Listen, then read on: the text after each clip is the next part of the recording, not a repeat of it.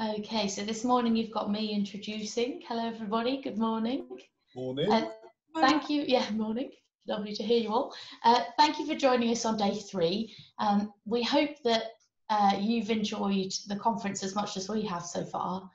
Last night I was thinking back to last year's conference. It was my first ICS conference, um, and I came away actually absolutely exhausted but with a real sense of what ICS is about and how precious the community time and fellowship is. Um, and I don't know about you, but this week I felt the same excitement um, about gathering together and the joy of seeing familiar faces and the sense of community, even over Zoom, which I, I think is amazing. Um, so, obviously, at this point, I'd like to welcome you, but it would be remiss of me as social media administrator not to plug our social media at this point. Um, so if you haven't already, please join our prayer group that's on Facebook.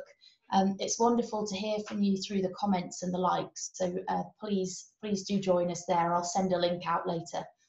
Uh, so before I hand over to Ben, let's just pray. Father God, we thank you for this time together. We thank you for the joy and sense of community you've given us this week, even while so far apart. Thank you for the worship and for the teaching this week, and we ask that you would bless us as we gather together on this final day and unite us in faith. Amen. Amen. Over to Ben. Thank you. Um, not much to say other than uh, we're going to sing in just a moment, and hopefully it's a, a hymn that you recognise, and it's been drawing on some of Simon's themes of uh, love and uh, being held and carried in love. Um, and I don't know the gospel reading for many of us this Sunday is the road to Emmaus, and I love those words that uh, set our hearts on fire with love for you. And uh, in a sense, that's my prayer for us this morning. So let's sing together as we uh, sing together. Here is love. The night has passed and the day lies open before us. So may the light of your presence, O God, set our hearts on fire with love for you now and forever. Amen. Amen. Great. Thank you, Ben. Thank you very much. Yeah. Thank you, Robin. I agree. Great song. One of the things that came out of a discussion group yesterday was that wouldn't it be good to have the workshops from the conference or have an opportunity to talk about some of the issues that are cropping up to us really uh, focused at the moment. So what was suggested was, would we be able to have a, a workshop about how do we lead in a time like this? And it doesn't need to be well produced, but somebody introduces it, then we break into groups, then there's a plenary where we learn from each other, and that's it. So next Thursday at 11 o'clock Central European time, Clive Atkinson will be introducing the theme of how do I lead in this time. Clive is the chaplain in Vevey. Clive is very clear that he's not introducing the answers, he's setting a framework for our discussion. And then we can talk about, well, what's it mean for us as leaders in this moment? I think it's a great idea and really relevant, and I think we need to respond quickly to do it.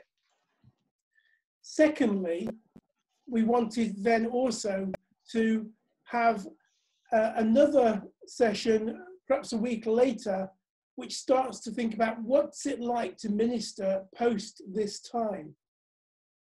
There is a great article which I'll send around to you later. It's called Leading Beyond the Blizzard uh, by Andy Crouch. Um, and a lot of us mission agencies have been discussing it because it gives an idea of what's it going to be like post this time. Um, and so I'll send it to you to read rather than trying to badly summarize it for you. Uh, and you'll get that today. So that's all said. I had an opportunity yesterday to interview Bishop Robert, and I'm, I'm going to play that interview in a moment. Um, what I want to say really is yesterday, before I interviewed Robert, I made a point of changing my shirt so the continuity looked really good. So when you see this interview, it looks like it's happening straight away, but it's really not. This morning, it's great that we've got Bishop Robert with us. This has been recorded because of diary conflicts, but it's been recorded recently, so it's still very fresh. Good morning, Bishop Robert. Good morning, Richard, and uh, and hello to all of you at the conference. I miss being with you physically, but it's a joy to be with you uh, via this recorded Zoom conversation. Marvelous. So tell me, how are you and Helen uh, experiencing lockdown? How is it from your perspective? So I'm sitting here in our our, our nice house in Waterloo in in uh, in the south of Brussels we have a nice garden, and, and it's been beautiful weather for the last five weeks. So we, we have an extraordinary sense actually of blessing and, and thanksgiving actually, despite all that's going on around us. Um, of course, we very much miss our family, as I'm sure uh, my fellow clergy are doing too. They would have been all visiting us at Easter, but we had to cancel all the flights, and so it was just the two of us here over Easter. Uh, nonetheless, we do appreciate the uh, stillness and the calm. Um, a friend of mine gave me a bird song app, and uh, for the first time ever, I've been attending to the bird song and identifying the birds. Dale Hanson uh, showed real appreciation of that, and uh, and then uh, I've also got a, a night a night time star application, which enables me to look at the stars, and I'm hoping to watch the shooting stars tonight. And a red squirrel has joined us in the garden as well. So, so I'm very thankful for that, and just aware of how different it is for me from you know those living in tower blocks or cramped circumstances or difficult relationships. So I have a lot, I have a lot to be thankful for. Thank you, Richard. Yes, and I'd be interested. Um, what has surprised you through this time um, about the diocese, but also about your own experience of it as well?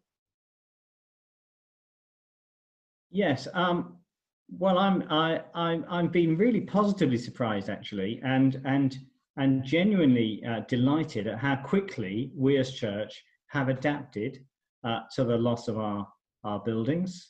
We always imagine ourselves as a kind of slow-moving institution that you know we take decades or centuries to change, but we we've adapted really fast. Uh, we've learned something which we always knew was true, but sometimes forget, which is the church is the people, not the buildings. Um, uh, uh, we're more resilient as a church than we might have expected. And, uh, and I've been deeply impressed by the imagination and creativity of our clergy. And our working together as senior staff has been, has been you know, really excellent. So, so I've been pleasantly uh, uh, pleased and surprised by that. And then what else have I learned? Well, I've learned that actually, uh, and this is, you know, in terms of the deprivations, I do miss the physical contact with people. Um, and I do like being with people, and I miss that. And I miss uh, Holy Communion and the physicality and the sacramentality of the gathered fellowship around the Lord's table, sharing bread and wine. And fasting from Holy Communion for me has proved a real uh, privation and uh, and I long to uh, to resume that whenever it's possible. Yes, yes. Now, the people who are listening or watching at the moment are mainly in Europe, but some people in the Middle East, and it'll go more widely. We have people in uh, North Africa as well. Uh, but on the whole, it's Europe that's got the most people there. So, what would you want to say to us all? Um, well, I want to say a big thank you to all the clergy of our diocese and their families who are doing amazing work uh, in, in stressful um, and difficult circumstances. Um, and of course, with the uncertainty of not knowing um, uh, how, how much longer this will go on, except that it probably will go on for really quite a long time. Um, so uh, I think you are doing a fantastic job. so, uh, and it's always good to be in touch with you. Um, I hope that you feel the support you receive from the diocese, from friends ICS, is adequate for you, and I pray for you. Uh, I suppose I'm personally wondering about about restart, um, as certain European countries are beginning to relax very gradually and very cautiously the restrictions on us. I'm wondering how will we adapt to that as, as church? What will, let us say, the new diocese in Europe look like?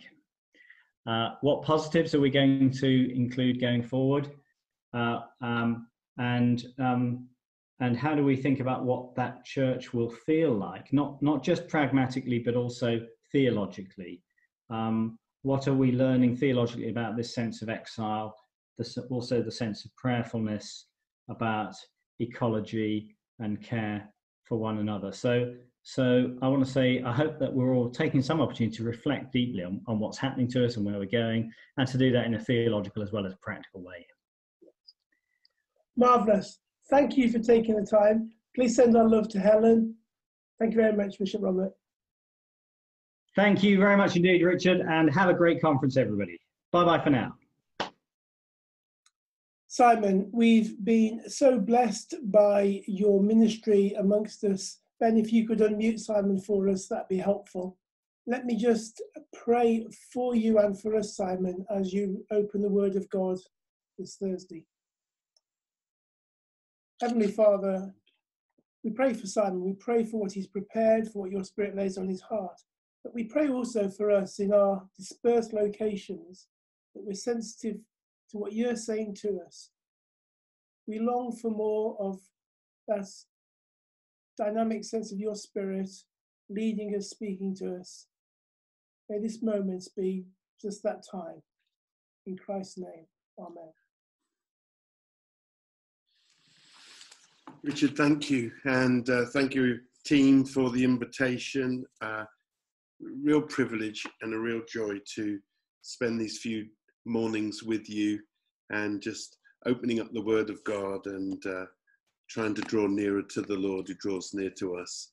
What an amazing and inspirational ministry ICS is. Uh, this morning, I'd like us to look at John chapter 20 and starting at verse 10. John 20, beginning at verse 10. And uh, Mary has gone early to the tomb and found it empty. And she's run back to tell the disciples, and Peter and John have run to the tomb and seen it was empty, and then they've left, but she has stayed. Verse 10 Then the disciples went back to their homes, but Mary stood outside the tomb crying. As she wept, she bent over to look into the tomb, and two angels in white, seated where Jesus' body had been, one at the head and the other at the foot. They asked her, Woman, why are you crying? They've taken away my Lord, she said, and I don't know where they've put him. At this, she turned round and saw Jesus standing there, but she did not realize that it was Jesus. Woman, he said, why are you crying? Who is it you are looking for? Thinking he was the gardener, she said, Sir, if you have carried him away, tell me where you have put him, and I will get him. And Jesus said to her, Mary. She turned towards him and cried out in Aramaic, Rabboni, which means teacher.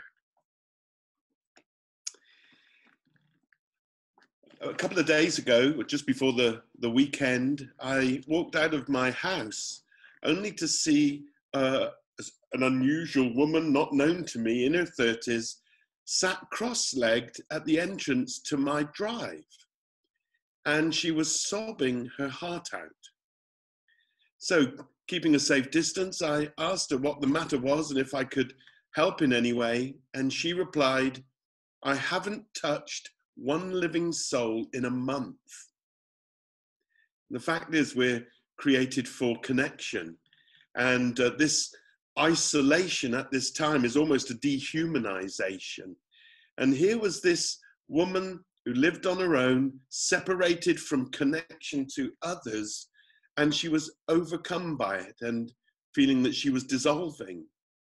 And she told me that she had left her flat so she could uh, find a space and a place where she could cry without annoying her neighbors. I shared a few rather pathetic words, and uh, then I went and got my wife Tiffany. But when Tiffany came out to talk to her, she had already got on her bicycle and gone. But I've been thinking about this woman all week. A woman sat on my drive in tears, and I wish I'd said more and I wish I'd done more. So many tears are falling to the ground at the moment, and even more are held inside. Tears for loved ones, the doctors and nurses traumatized by what they're enduring daily, tears of those struggling with fear and anxiety and depression, those who uh, feel they're losing their mind, tears of those whose lives have been turned upside down, lost jobs and lost income, businesses, university plans, hopes, holidays, all of that stuff. This sense that everything has been shaken and many people are completely shattered. Our Earth is a planet in shock. I had a text message last Friday from a friend of mine who happens to be a government minister. And they simply said this first time today, I had a wee weep. First time today, I had a wee weep. Ecclesiastes says that there is a time to mourn, to weep, to lament, and this is just such a time. The first thing I want to underline for us this morning is this that Jesus wept real tears. He wept real tears. Many of you will know that uh, the last Sunday is traditionally in the Anglican Church and in others called Low Sunday. I think it's to do with attendance rather than mood. And in the ancient lectionary of, uh, of uh, set readings for it, it's named Quasimodo, as you all know. Uh, and you can Google later why it's called Search from the Latin 1 Peter 2, things like that. But one of the set readings for last Sunday is Isaiah 53, 3 to 5. And there we have Isaiah's vision of Jesus, the Messiah. And we're told that he is a man of sorrows. That was the impression, that was the revelation that Isaiah received of the Messiah, a man of sorrows, one who is familiar with suffering and acquainted with grief. The shortest verse in the English translation of the Bible in John 11 is that Jesus wept. It's been turned into a, a, a swear word, but it's a wonderful sentence. It's a beautiful thing. Jesus wept. And he wept at the tomb of his dear friend. He wept over Jerusalem. The writer to the Hebrews says he wept in prayer, loud cries, and tears. He weeps over the world. God weeps with those who weep. Tears of empathy and sadness and loss and protest. Jesus never says, buck up, never says, man up. He never dismisses cries, he's never patronizing. He tenderly moves towards those who are broken. You know, machines don't cry. You've got to be a human to cry. You have to be alive. You have to have a heart to feel and to cry and to experience pain and loss and regret. Animals don't cry. Whilst all animals have tear ducts to moisten their eyes, none, with the possible exception of elephants, cry with emotion. We, we've all heard of crocodile tears, but they cry when they eat their prey. Vegetables don't cry. According to researchers, though, at the Institute for Applied Physics in the University of Bonn, plants release gases that some physicists say may be the equivalent of crying out in pain. But humans cry, and they cry because they suffer, and they cry because they feel. To cry is to be human. It's suggested the average individual in a lifetime sheds 60 litres of tears. In the history of humankind, that's a whole ocean of weeping. I think our first ancestors were created with tear ducts hooked to emotion centers in the brain, there to be released at moments of joy. But sin and the fall rewires us, and the first tears of pain are shed by our first ancestors. And we've been crying ever since. There's so much pain in our world, there's so much suffering. The psalmist speaks of the world as the valley of Baca, a valley of tears, of weeping. I read yesterday that 70% of the Psalms have lament. I don't know if that's accurate, I'll need to follow it up. But it wouldn't surprise me. So often in church, we fake it and we put on a show, especially in my tradition, the charismatic tradition. Often there can be these days the sort of hype and worked up and whipped up and inauthenticity that simply doesn't reflect people's lived experiences, especially at the moment, but not just at the moment. Most weeping over most pain goes unwitnessed, it's behind closed doors. The weeping of a wife whose husband has dementia and no longer knows her. The weeping of a couple whose IVF failed yet again.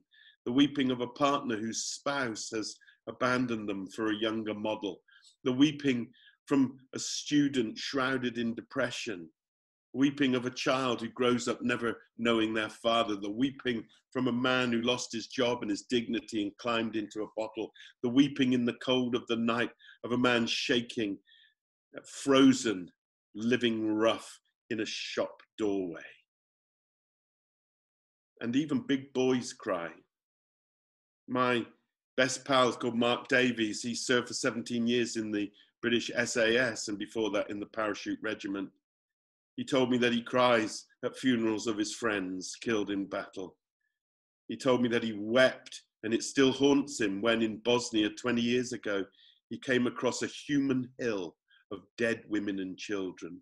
Just wept and wept inside ever since. Victor Hugo in Les Miserables says, Only those who do not see do not weep. But God sees and God cares. And he weeps. In the Old Testament, he sends Moses to rescue Israel from the Egyptians with that lovely sentence. I've, I've always loved it. I have heard their cry and I know their sorrow. He's a man of sorrow and he's acquainted with his own and with our sorrow. He's not distant, He's not absent. He's not indifferent. He's not like the Greek gods who were apathetic, apatheia, indifferent. Unmo- He's not the philosopher's unmoved mover. Jesus wept. That's the first thing I want to underline for us this morning. Jesus wept. He understands and he's hurt and hurting. Secondly, Jesus wiped away the tears. He wept, but he also wiped them away. I love that hymn. Did e'er such love and sorrow meet? Yes, it did. It did. In Jesus, love meets sorrow in Jesus. Mary Magdalene, in our reading, had cried herself to sleep nights without number. There were demons within and darkness without, but then she met Jesus and everything was different. It changed everything. Mark's gospel tells us that Mary Magdalene had been freed from seven demons. Just imagine the torment she endured. Ancient tradition tells us that Mary Magdalene had been a prostitute. She's described as having lived a sinful life. And Magdala in the Talmud uh, is called the city of prostitutes. And I wonder if she's given that predicate, that name, because uh, it indicates her past life. It's the way of the gospel writers telling us who she was.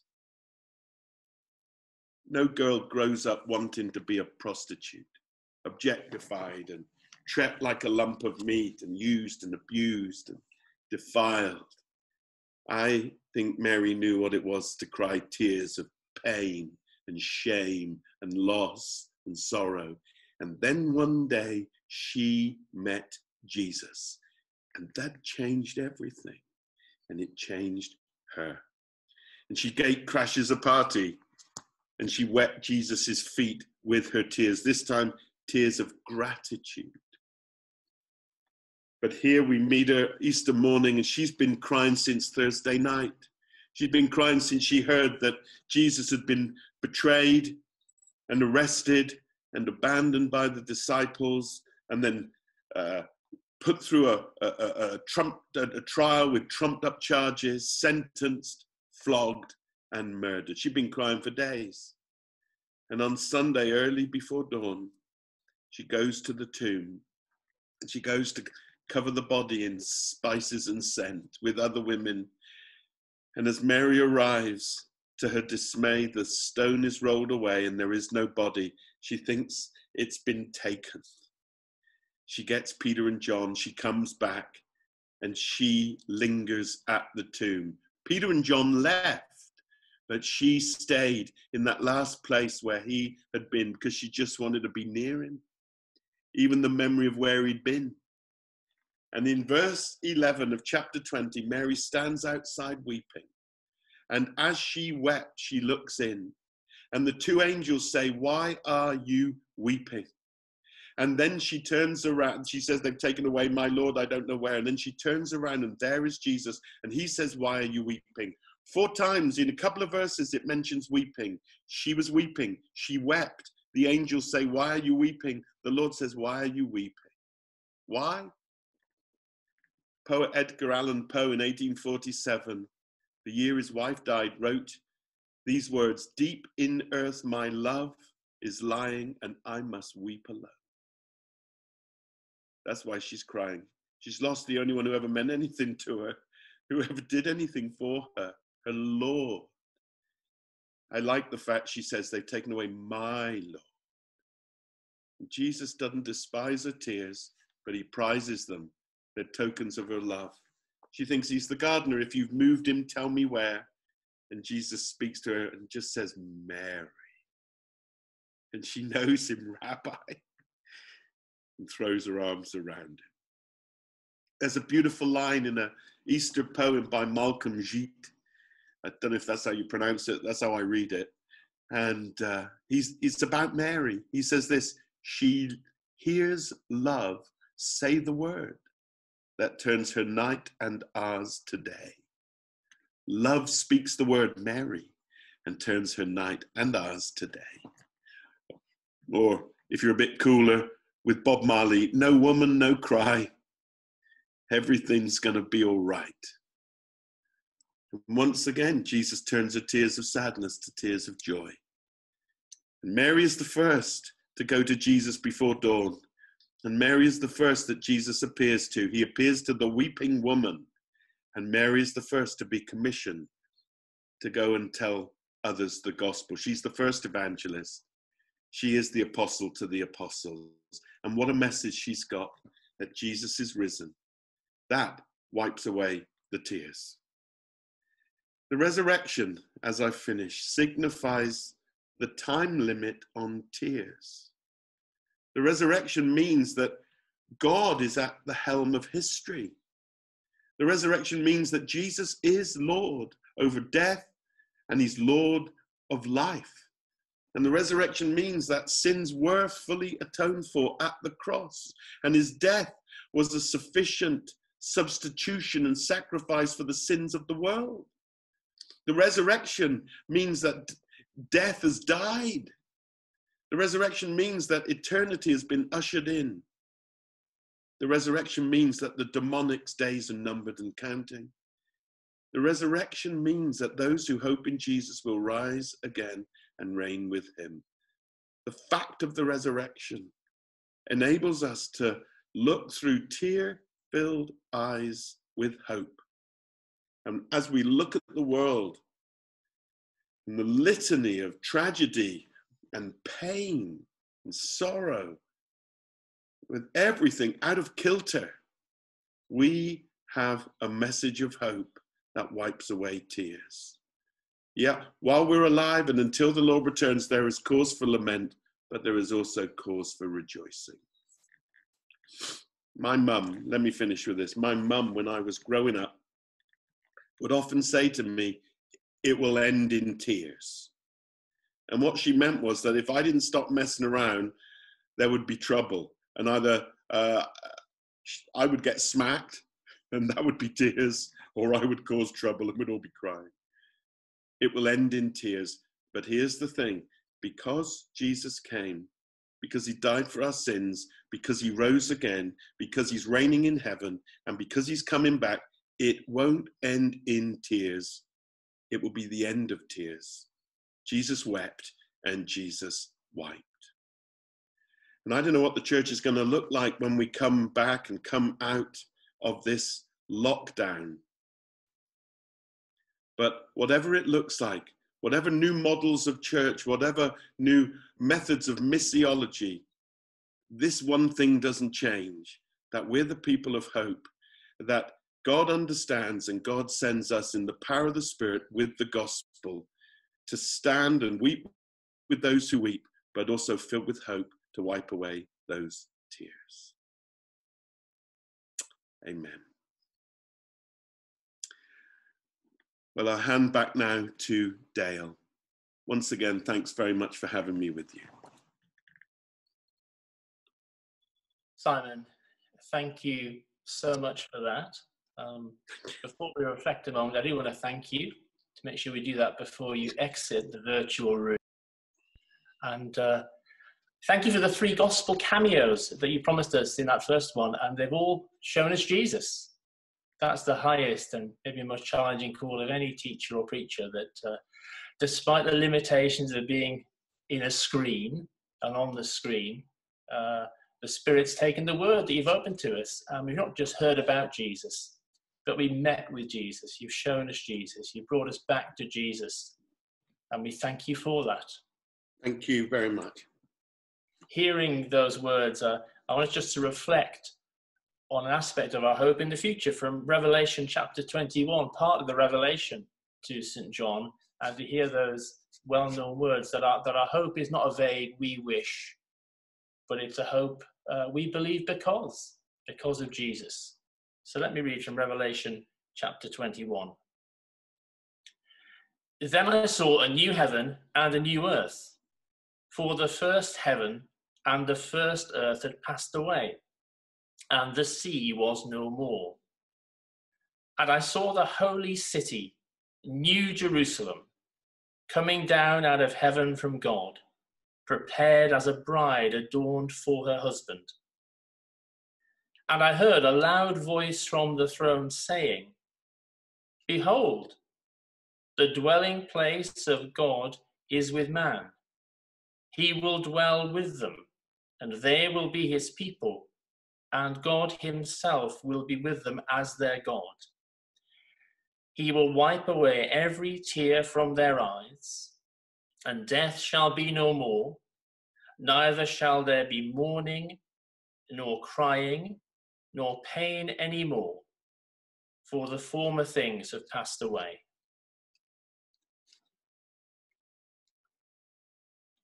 Let me pray for us for a moment. Gracious God, we thank you for the promise of your presence, for the renewal of heaven and earth. Thank you that you lead us through these times, not around them, but that in Jesus we have a sure hope.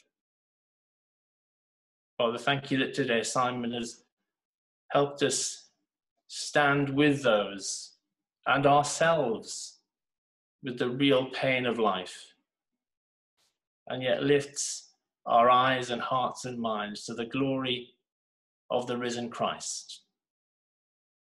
In his name we pray. Amen. Well, the conference is drawing to a virtual conclusion and a real conclusion. And there's a few things that we want to do just before we finish. Uh, among them, I want to say thank you to a few people on everyone's behalf. I've, I've thanks, Simon, but it doesn't hurt to do that again because thank you for that outstanding work you've done. And somehow, despite the screen, there's been that imminence and, and know, connection by the Spirit. So thank you. Um, thanks to uh, all the team who've been involved in putting this together. I've been a tiny partner. Others have done a great deal more. I need to thank uh, Richard, who's kind of held the thing together and navigated uh, uh helpfully through us, uh, navigated it through. And uh, he hasn't used the mute all button too much. And when he has, he hasn't looked as though he's enjoying it too much, which I know he really will have been. Uh, thank you to the rest of the team, especially, especially Ben, who I think has shown us just how much fun you can have in a garden shed with a green screen. So thanks, but thank you to everybody who's been involved in the team. And I know the team back at ICS office there, uh, we've seen the work of Jemima and Yelena and Jeanette and others. But thanks to all the background team, often get forgotten, but who are working from home and helping to keep things going. Well, we are going to come to a, a proper conclusion and not just fade away. this is kind of the stage in the conference. If we'd been meeting in High Leigh, uh, we'd be finishing. Uh, we'd be reflecting on just how many full English breakfasts can you eat in a week. Excuse me while I wipe away a small tear as I ponder those. um, and also, we've been having the kind of conversations that you have between the last session and actually leaving, like in the car park on the way to the bus. And that's what we'll have in the breakout rooms a bit later. The, the conference will be over, but we'll still be chatting to people kind of as we go our way. And in a few minutes, we're going to hear from uh, Bishop Richard, who's going to send us on our way. But really, just to give a, a resounding thanks to you as well for everyone who has joined us through the medium of Zoom. And uh, despite the restrictions we've had for making a meaningful connection with one another, it's been great to, to do this. We, we look forward to another year in Beatenberg, of course, and we look forward to hopefully not having to maintain a safe distance, who knows at that time, but actually being able to, to have that connection that we've talked about today in a literal and physical way. So we pray for, for one another as we meet in the future, we trust. But for now, I'd like to hand over to Bishop uh, Richard as, as we've. Friends, I, I do hope that you've uh, enjoyed um, being together, albeit somewhat virtually. Um, it was lovely to have see uh, Simon teaching us. Simon is uh, a great friend. We were at theological college together, uh, and so I followed his ministry with great interest and been hugely blessed by his teaching over the course of, uh, of many years. So it was lovely to, to be reminded to uh, this over these few days of some of these great truths. I was just reflecting actually that today is St George's Day, um, and it's uh, an interesting festival, isn't it, St George's? When you when you see uh, some of the uh, rather uh, unpleasant right-wing groups that so mark the political life of our country as they um, uh, you know parade the St George's Day flag and uh, venerate St George as an icon of Englishness when in fact he came from Turkey and wasn't British at all um, and uh, it's just an interesting reflection on how symbols can be hijacked and reflect and, and used for all sorts of unfortunate unfortunate purposes. Um, but actually, uh, St George being uh, embraced as a patron saint by our country is a, is a wonderful uh, example of the sort of multiculturalism and uh, a symbol too of the fact that we, as involved in ICS, cross over a variety of cultures and, and embrace the best from all sorts of different cultures and lead churches that are a delightful mixture of people from every background and uh, uh, and tribe and uh, across the world. It's it's it's a wonderful thing. I think um, what what I really want to encourage all of you is is around the whole area um, of self care. I've just got off a, a meeting. I, I, think I've got 32 Zoom meetings this week. Uh, I can't remember which number one I've just had.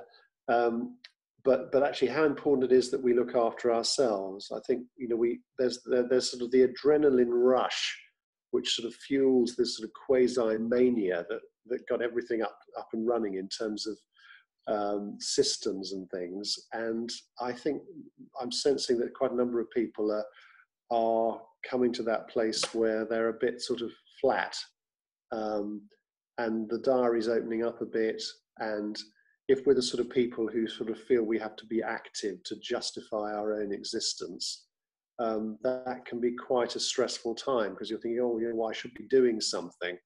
And whilst it's really important that we do connect with people, I think uh, pastorally through phone calls and all those sorts of things, I think it's really also important that we take care of ourselves and actually give ourselves permission to just chill a bit and not to feel driven to be frantically busy the whole time. Um, so I, I, I, hope that that might be the case for you and that you're enable, able to use, you know, the time a little bit for your own personal reflection and reading and, and not feel bad and, and driven about it. And um, I just want to sort of send out a, that, that message. I'm trying to sort of say that to lots and lots of people that, that you know, now is a time for re- reflection and taking care of ourselves and recognizing that ministry is a marathon, not a sprint. And this is not going to be something that's over in five minutes and that we're going to be suddenly back to the way we were. We are going to have to start reflecting on different ways of doing things and different ways of working. So that's all I wanted to say. That's uh, my sort of sage advice for the day, and I hope that's I hope that's helpful. And I, maybe I could just sort of finish by praying a prayer for all of us and uh, asking for God's blessing uh, as we continue serving Him. So let's pray. Father God, thank you that you call each one of us into your service. Thank you, Lord, that the word that you speak over us are the same words that you spoke over your beloved Son Jesus. You are my child, the beloved, in whom I'm well pleased. Thank you, Lord, that we don't have to justify our existence by frenetic activity, but Lord, we always move into ministry from a place of rest and help us, Lord, to use uh, the times that we have to reflect and to pray uh, and to trust in your grace surrounding us. And Lord, may you bless each one of us in your service and help us at this time to draw close to you, to use this time to grow deeper in our understanding of who you are and how much you love us. Mm-hmm. And may the blessing of God Almighty, the Father, the Son, and the Holy Spirit be among us and remain with us always. Amen.